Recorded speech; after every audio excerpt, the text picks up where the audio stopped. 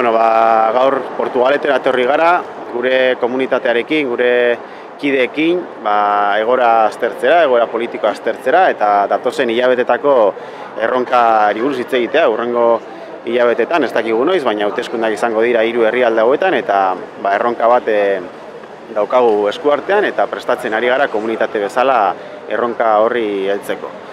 Guk uste dugu e, ziklo baten agorpenaren aurrean gaudela herri hontan eta ziklo berri bat e, irekitzen ari dela. Eta ziklo hortan pasatu bar gara politika baztertzaile batetik, politika e, inkluyente batera edo barne hartzaile batera. E, herri honek erronka handia ditu eta erronka horiei aurre egiteko behar da espazio kolaboratibo bat edo kooperatibo bat martxan jartzea indar politiko desberdinen artean hori da gu e, praktikatzen ari garen politika eta uste dugu hori dela herri honek behar duen politika.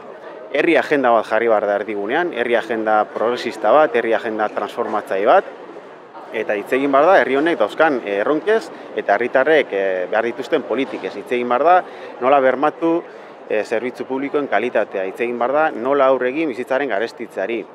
Hitz egin behar da nola bermatu etxe, etxe bizitzarako sarbide eskubidea. Hitz egin behar da e, zein politika ekonomiko behar dugun interes publikoari jarraitzen diona.